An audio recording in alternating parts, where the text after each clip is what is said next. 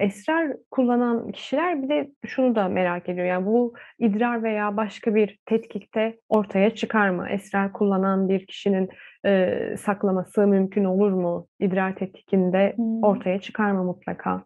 Şimdi idrar dışında tükürükte, kanda, saçta ve tırnakta tespit edilebiliyor ama tabii en sıksa eee, araştırdığımız alan idrar tetkikleri oluyor. Eee, düzenli kullanımda, eee, 1 haftaya kadar idrarda kalabilir.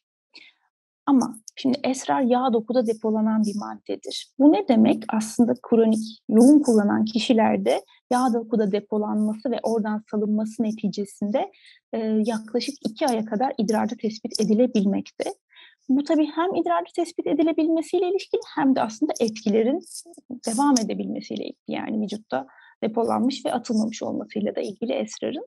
Eee, yani, daha kısa bir cevap verecek olursam idrarda, saçta, tükürükte, kanda ve, eee, tırnakta tespit edilebilir ve uzun süreli yoğun kullanımlarda da 2 aya kadar, 8 haftaya kadar idrarda kalabilmektedir.